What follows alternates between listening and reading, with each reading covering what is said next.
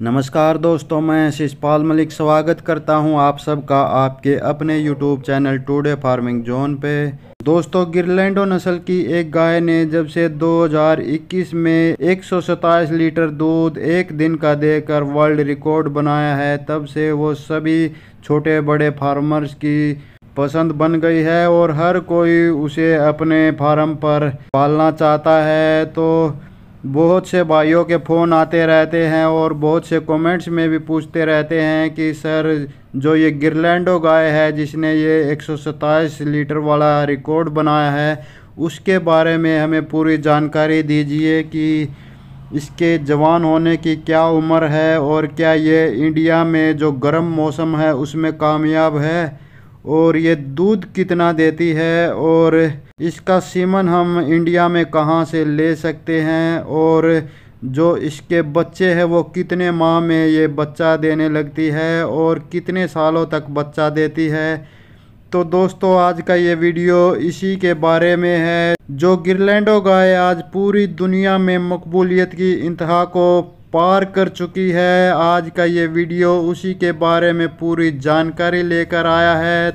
तो गिरलैंडो गाय की पूरी जानकारी आज हम इस वीडियो में बताएँगे, लेकिन उससे पहले रिक्वेस्ट है अपने उन सभी दोस्तों से जो आज पहली बार चैनल पर आए हैं या पहली बार हमारी वीडियो देख रहे हैं वो वीडियो के नीचे जो लाल रंग का सब्सक्राइब बटन दिया गया है, उसको दबाकर चैनल को सब्सक्राइब कर लें और उसके बाजू में जो घंटी का बटन दिया गया है, उसको दबाकर ऑल पर सेट कर ले ताकि हमारी आगे आने वाली सभी वीडियो सीधे आपके पास पहुँच जाए और आप उससे जानकारी लेकर अपने पशुपालन को बेहतरीन बना सके। और दोस्तों, चैनल को सब्सक्राइब करना इसलिए भी ज़रूरी है क्योंकि हम आए दिन ऐसी जानकारी भरी वीडियो इस चैनल पर लेकर आते रहते हैं, जिनसे जानकारी लेकर आप अपने पशुपालन को बहुत ही उच्च कोटि पर ले जा सकते हैं। अपने यहाँ पर एक से एक अच्छी ब्रीड तैयार कर सकते हैं तो इसलिए चैनल को अभी सब्सक्राइब कर लीजिए। तो चलिए दोस्तों, वीडियो स्टार्ट करते हैं।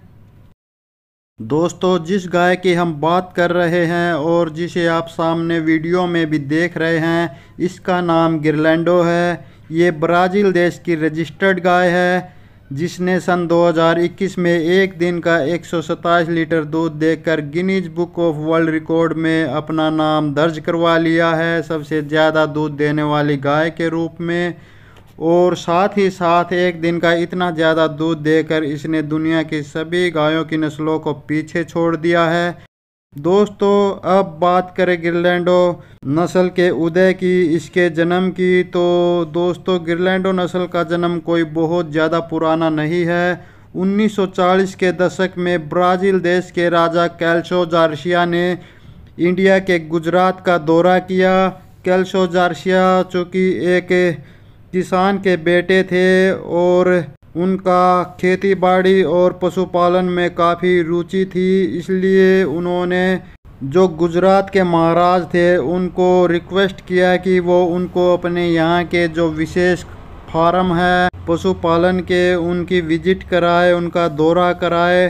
तो गुजरात के महाराज ने उनको कुछ विशेष पशु फार्मों का दौरा कराया और ब्राज़ील के राजा ने इन फार्मों पर बहुत सी गायों की नस्लें देखी और उनको गिर गाय बहुत पसंद आई तो उन्होंने गिर गाय का एक जोड़ा लिया और ब्राज़ील रवाना हो गए। ब्राज़ील जाने वाले इस नर बुल का नाम कृष्णा था। दोस्तों, उन दिनों ब्राज़ील में गायों की अलग अलग किस्में पाई जाती थी, जिनमें एच एफ़ जर्सी, डच, डीगर आदि नस्लें शामिल थी। ब्राज़ील में उस इंडियन गिर नर बुल कृष्णा का अमेरिकी एच एफ़ गाय होल्स्टन फ्रेजन के साथ क्रॉस कराया गया और उसके रिज़ल्ट में गाय की एक बेहतरीन नस्ल का जन्म हुआ, जिसको गिरलैंडो नाम दिया गया। गिरलैंडो गाय में गिर और एचएफ दोनों गायों के गुण मौजूद हैं और दूध उत्पादन में इस गाय का कोई मुकाबला नहीं था तो ब्राज़ील में छोटे बड़े सभी फार्मर इसी गाय को पालने लगे, जिसका परिणाम ये हुआ कि 1980 तक ब्राज़ील में गिरलैंडो नस्ल की गायों की संख्या इतनी ज़्यादा बढ़ गई कि ब्राज़ील सरकार ने इस गाय को बाकायदा तौर पर अपने नाम पर रजिस्टर करवा लिया और इसका नाम गिरलैंडो रखा गया, क्योंकि ये नस्ल गिर और एचएफ के क्रॉस से पैदा हुई थी। दोस्तों, इस वक्त ये गाय प्रतिदिन दूध उत्पादन के लिहाज से दुनिया की सभी गायों की नस्लों में पहले नंबर पर है। जैसा कि आप जानते हैं कि एच एफ़ जर्सी और डच गाय जो कि दूध उत्पादन के लिहाज से बहुत ही कामयाब मानी जाती है और दुनिया में ज़्यादातर फार्म भी इन्हीं नस्लों के हैं। और ये नस्लें बहुत पसंद भी की जाती है, लेकिन गिरलैंडो गाय इन सभी नस्लों को पीछे छोड़कर मकबूलियत की इंतहा तक पहुँच चुकी है। यानी दूध उत्पादन में पहले नंबर पर आ चुकी है और इसकी इस कामयाबी की सबसे बड़ी वजह इसका दूध उत्पादन है, क्योंकि जैसा कि मैं पहले भी बता चुका हूँ कि ये एक दिन का एक सौ सताईस लीटर दूध देकर Guinness book of world record में अपना नाम दर्ज करवा चुकी है। यानी कि एक दिन का सबसे ज़्यादा दूध देने का वर्ल्ड रिकॉर्ड बना चुकी है। तो दोस्तों, अब बात करें इस गाय की खूबियों की तो ये गाय 20 से 25 महीने की उम्र में पहला बच्चा देती है और ये 15 साल तक बच्चे पैदा करने की अक्षमता रखती है। एक बच्चे से दूसरे बच्चे के बीच कुल फैसला 410 दिनों का होता है और ये गाय एक ब्यात में 310 दिनों तक दूध देती है, यानी कि तकरीबन 10 महीने ये दूध देती है। इसके दूध में फैट चार से साढ़े चार परसेंट होता है और ये गाय पूरे ब्यात में बीस से पच्चीस हज़ार लीटर तक दूध देती है। वज़न के हिसाब से ये गाय काफ़ी तेज़ी से बढ़ती है और हर दिन अपना एक किलो वज़न ये आसानी से बढ़ा लेती है और चूँकि ये गिरलैंडो नस्ल इंडियन गिर और अमेरिकन एचएफ के क्रॉस से पैदा हुई है, इस वजह से इस नस्ल का जो बॉडी स्ट्रक्चर है, उसमें इंडियन गिर और अमेरिकन एचएफ दोनों के गुण दिखाई देते हैं। शरीर के हिसाब से तो दोस्तों ये एचएफ जैसी दिखती है, लेकिन इसका जो पिछला और आगे वाला हिस्सा है, वो इंडियन गिर जैसा ही होता है। चूँकि इंडियन गिर गाय गर्म प्रदेशों की गाय है, इसलिए ये गिरलैंडो भी इंडिया, पाकिस्तान, चीन जैसे गर्म प्रदेशों में रहने में कामयाब है।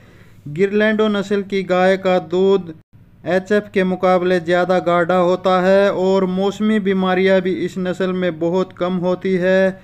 इस तरह की इन सभी खूबियों के बल पर यह गाय आज दुनिया के सभी छोटे बड़े फार्मर्स की पहली पसंद बन चुकी है और सभी फार्मर्स इस गिरलैंडो गाय को अपने फार्म पर रखना चाहते हैं।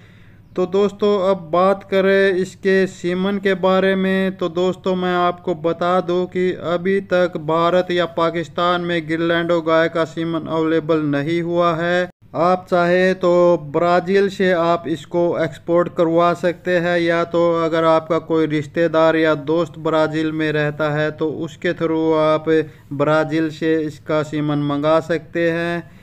जब इंडिया में इसका सीमन आ जाएगा तो मैं आपको बता दूँगा तब तक आप अपने इस चैनल को सब्सक्राइब कर लीजिए ताकि जब भी हम आगे इस चैनल पर कोई वीडियो डालें, वो सीधी आपके पास पहुँच जाए और आप उससे जानकारी लेकर अपने पशुपालन को बेहतरीन बना सके। और दोस्तों, खबर आ रही है कि पंजाब में कुछ बड़े फार्मर्स, कुछ बड़ी कंपनियाँ गिरलैंडो गाय की ब्रीड तैयार करने में लगी हुई है तो देखो उनका क्या रिज़ल्ट आता है। और रिज़ल्ट आने में कम से कम दोस्तों दो तीन साल का टाइम तो लग ही जाता है। तो जो भी रिज़ल्ट आएगा, जो भी खबर मिलेगी, मैं अपने भाइयों को ज़रूर बताऊँगा। इसके लिए अभी चैनल को सब्सक्राइब कर लीजिए। और दोस्तों ये थी जानकारी गिरलैंडो गाय के बारे में। उम्मीद है दोस्तों, जानकारी आपको पसंद आई होगी। पसंद आई तो वीडियो को लाइक कीजिए, लाइक से भी ज़्यादा शेयर कीजिए अपने दोस्तों के साथ, अपने रिश्तेदारों के साथ, अपने दूसरे फार्मर भाइयों के साथ, ताकि वो भी वीडियो से जानकारी लेकर अपने पशुपालन को बेहतरीन बना सके और अपने यहाँ पर अच्छी नस्ल की ब्रीड तैयार करके अपने पशुपालन से काफ़ी अच्छा मुनाफा कमा सके। और जल्द ही मिलते हैं दोस्तों एक और नई वीडियो में, एक और नई जानकारी के साथ तब तक नमस्कार